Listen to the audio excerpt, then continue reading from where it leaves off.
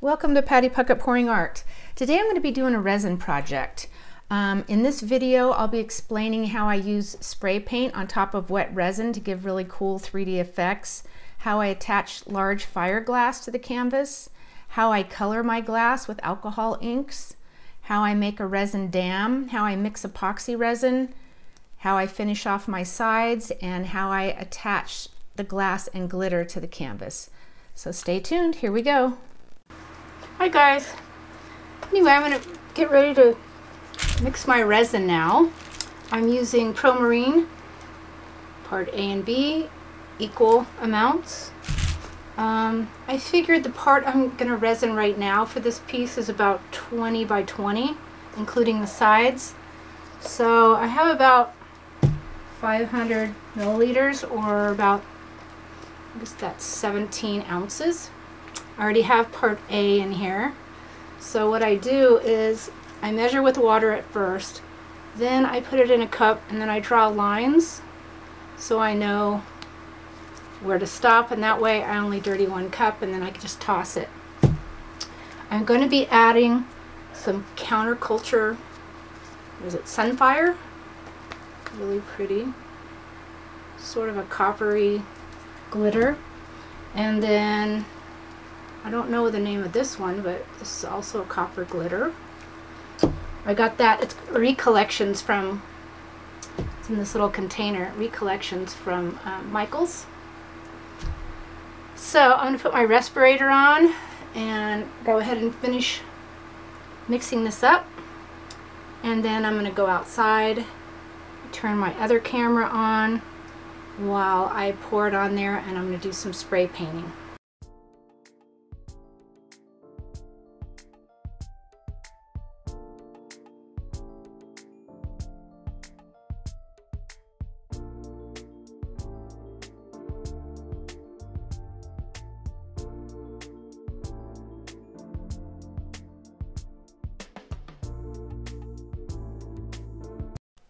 Okay, I'm outside. I have a respirator on, but what I've already done was I've spray painted part of it black and part of it copper. And underneath this cardboard, I used epoxy sculpt parts A and B, and I made a dam. And the reason why it's covered is because I'm going to be spray painting over that, and I didn't want it to get into the other area. So um, after I resin you'll see why, um, well, how I did it. Um, right now I have a mix of resin and I put some copper glitter in it. So I'm just going to be spreading that around. I'm going to go ahead and let it flow over the sides. and I'll just go ahead and speed it up right now.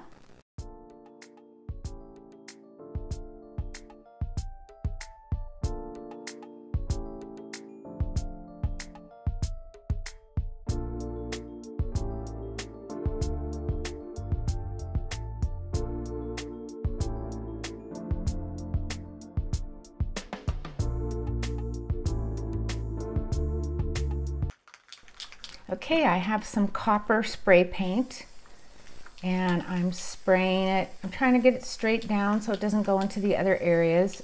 I'm putting a nice sort of heavy coat, making sure everything's covered. I'm spraying the sides also. So after I get finished with that, I'm going to be waiting about 10 minutes and I'll come back to it.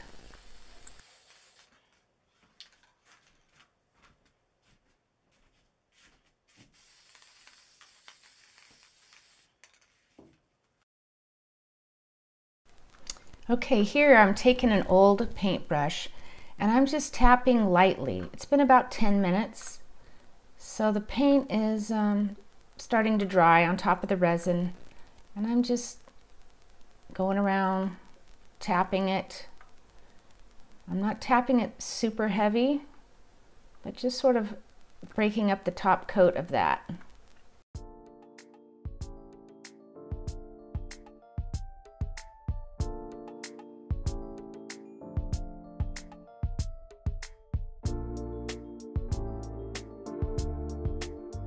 So I'm removing the cardboard now. Um, I had to take it off now because if the resin dried, it'd be stuck to the cardboard. So as I'm removing this, I'm seeing that the dam broke and allowed the resin to flow into the areas I didn't want it to. So I'm like, I didn't build the dam high enough. The epoxy sculpt is very hard to work with, especially with the kind of curves I have there. So I'm like, well, I'll just level it out. At least the spray paint didn't get into the areas I didn't want it to. So that's what I'm going to do. I'm just going to spread it out down. And um, I still have the, the copper in that resin, so that's going to show.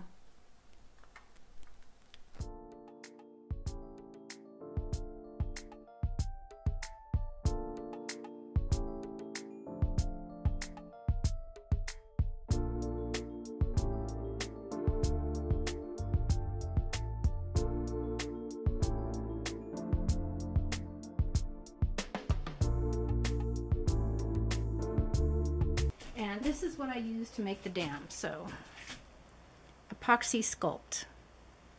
See that? Epoxy sculpt. Epoxy sculpt. I don't know why that's upside down. so I will bring you back tomorrow. I had leftover resin, so I was making coasters in between. So we'll see what this brings tomorrow. Okay, I just wanted to show you it dry. Pretty cool.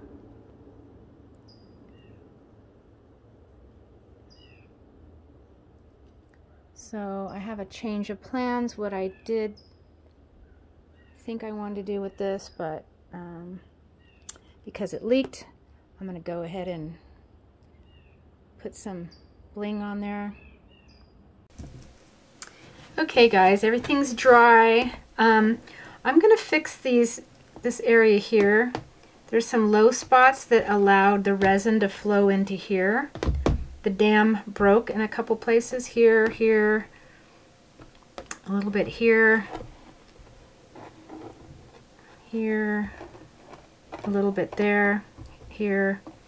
So um, I'm going to go ahead and fix those and then I'm going to use some Posca pens to outline the black, but I would have to let that dry first. Remember I said how much I disliked this, sorry, product. Um, at least it's not working for what I need it to work for. But I have to use it because that's what I used on the other. So I'm just going to show you what I did. It's sort of like a, a hard putty clay like. You're supposed to take even amounts of both.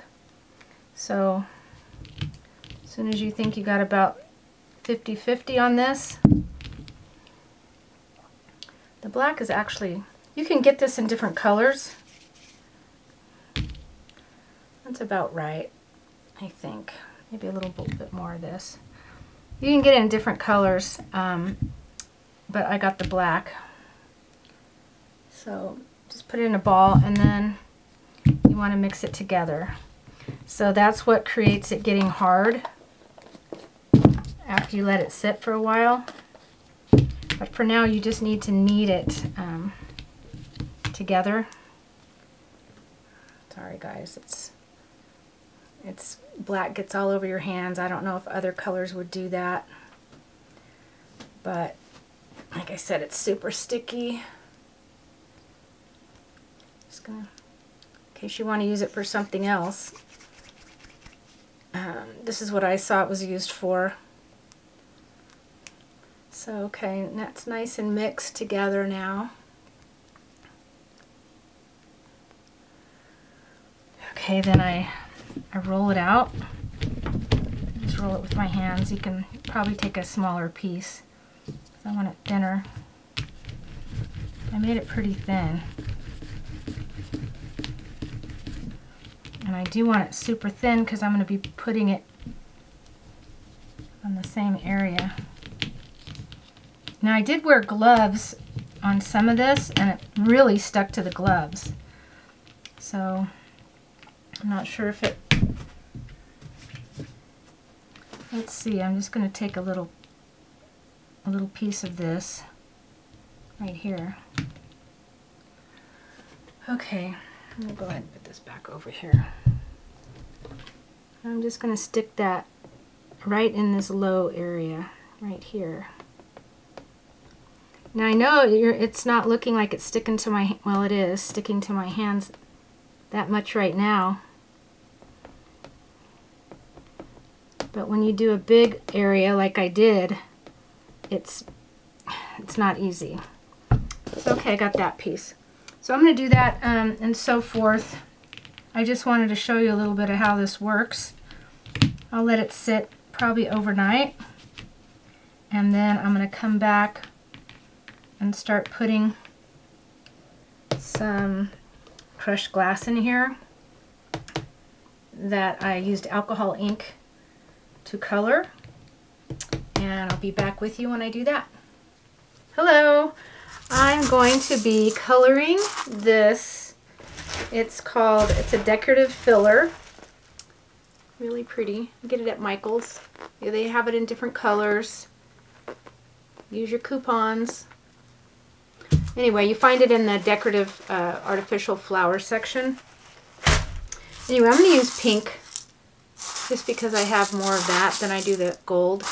So what I'm going to do is I just got this, I'm going to use this, it's called Alloy, um, what is it, Mixed, and it's alcohol ink.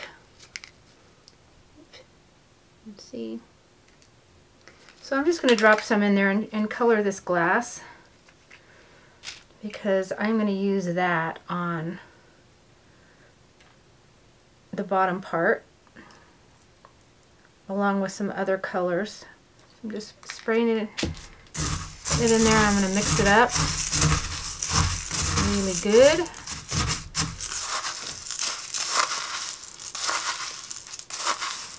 You don't need a whole lot to color color it amazing. So, and I want, might want to put it some more in there.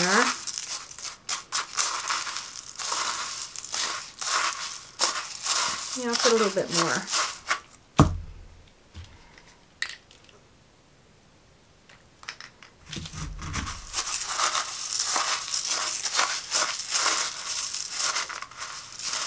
Really pretty. You can use whatever color alcohol ink that you want. And if you look back at some of my videos, you'll see how I used the bling on embellishing some of my pours. So, okay, there you go.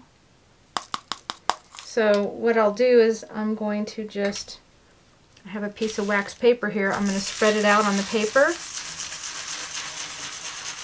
Just like that. Make sure I get all of it out of there. I'll just spread it out, let it dry for a couple hours. It dries pretty quick. I don't want it sticking together, so I'm spreading it out. And if it does stick together, it's no big deal. It'll just come right apart pretty easy. Let that dry. I'll probably do uh, probably three of these cups like this. And I'm not sure if I'm going to mix it with some of this gold colored or just keep it this color. Okay, I just wanted to show you how I'm going to do that and stay tuned and you'll see how I apply it to the painting I just did. So what I ended up doing is um, after this dried where I repaired it, I ended up going over the black part with a couple of permanent markers and now my plan is to go ahead and put some fire glass, big hunks of fire glass. I'm going to hot glue gun those down here in some kind of a pattern. And then I have some smaller fire glass if I need to fill it in. Um, so I'm going to be using this hot glue gun. And then I'm going to use this colored crushed glass that I colored with Ranger Alloy Mind and Ranger Poppy Field Color.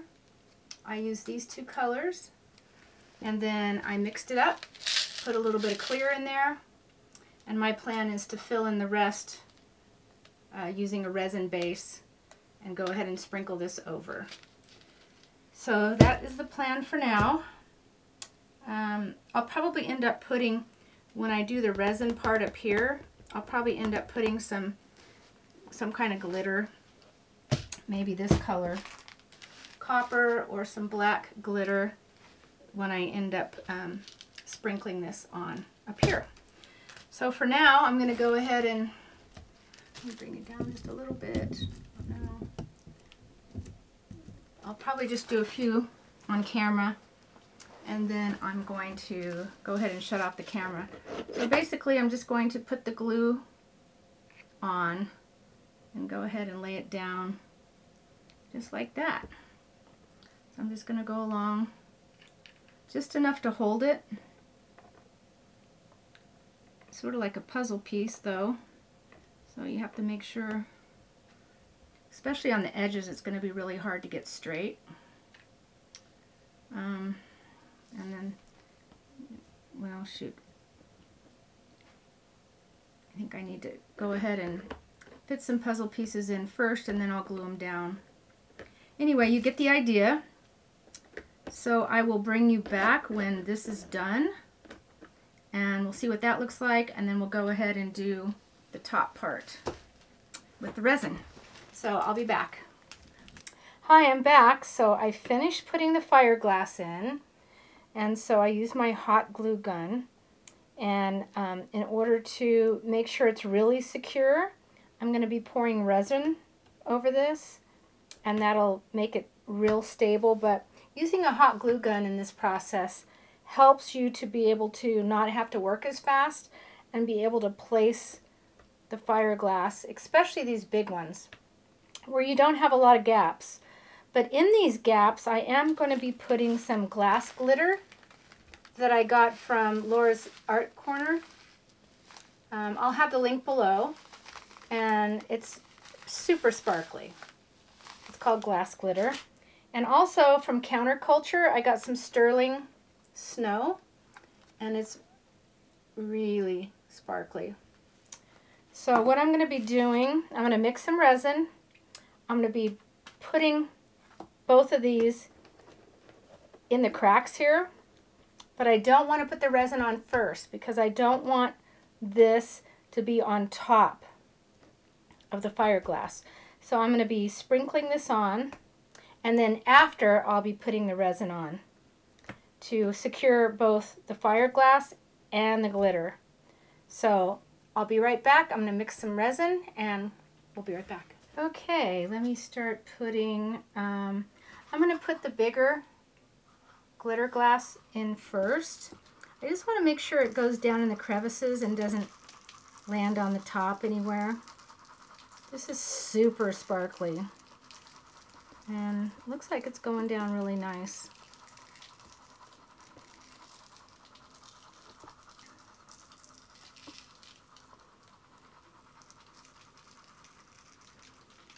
Now this next bit of glitter I'm going to be putting on is very uh, fine.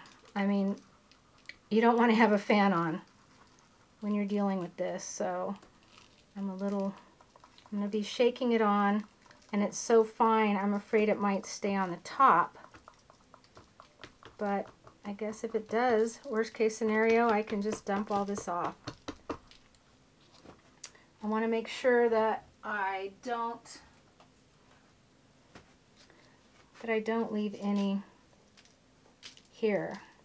Oh, by the way, um, as you saw before, when the dam broke up here, it came down to here. So what I did is I just mixed some more resin and I added the same glitter where it would be the same when you're looking underneath the, the crushed glass.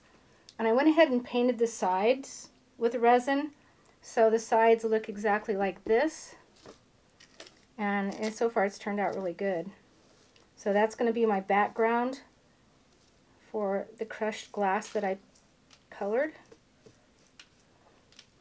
Just getting everything off here. Once I resin this, it's okay if it comes out, but I'm trying to keep. So now I'm going to try to put this really fine counterculture sunfire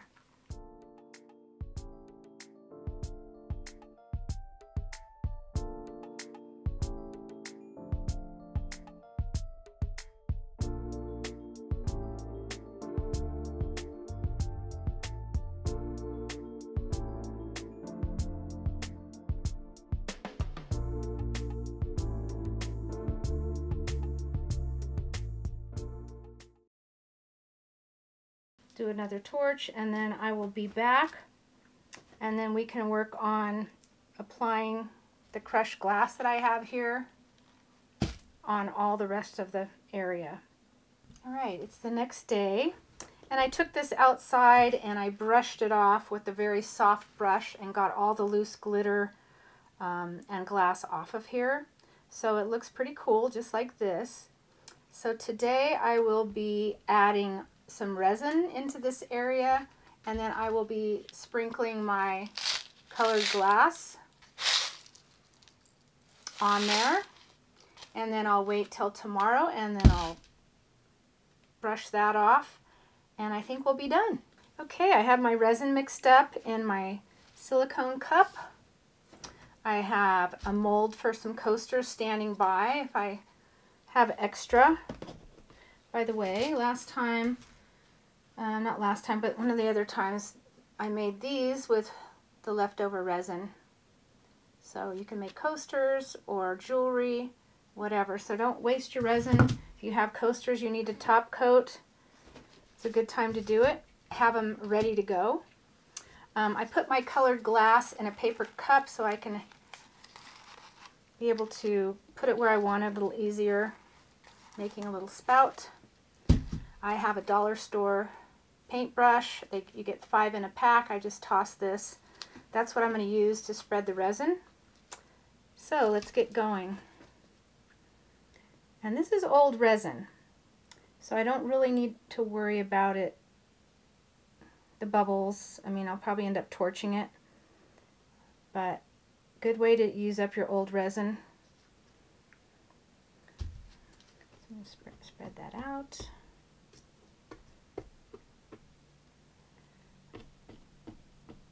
I'm not going to really worry about it going into the other areas.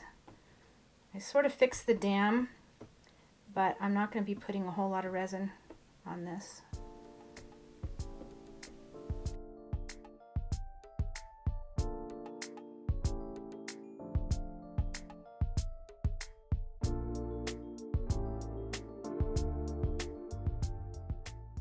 Let's get going with this.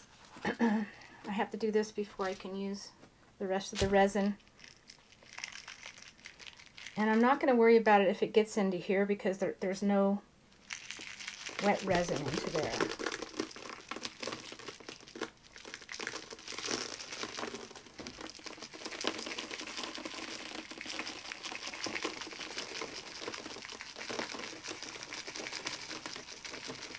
I think I made more than I really need of this glass. So I'm going to go over it lightly and then I'll go over it again.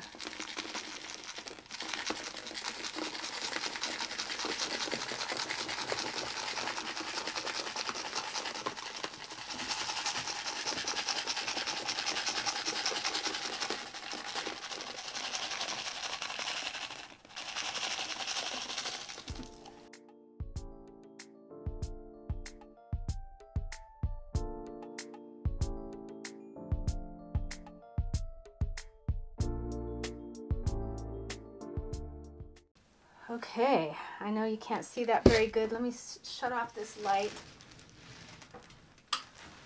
I don't know if that helps, but I will get you in a better light when it's all finished.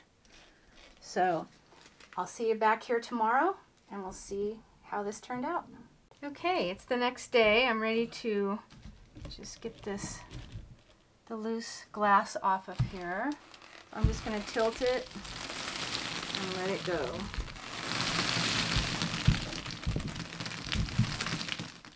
I'm going to take a soft brush help it along here. I put it on pretty thick so that top layer is coming off.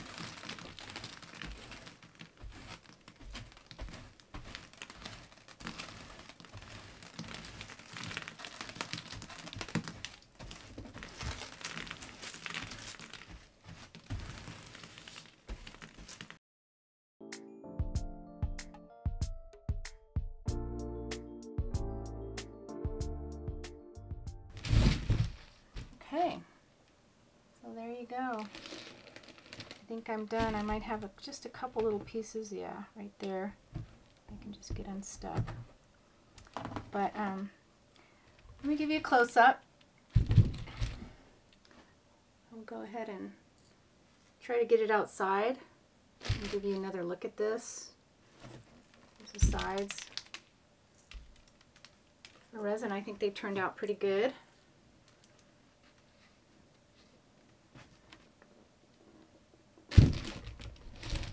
back. Okay, here's a close-up on the porch. Can't really see the, sh the shimmer. Show you a close-up of the spray paint. Anyway, please like and subscribe. Thanks so much for watching. Don't forget to check out my Amazon links. Bye.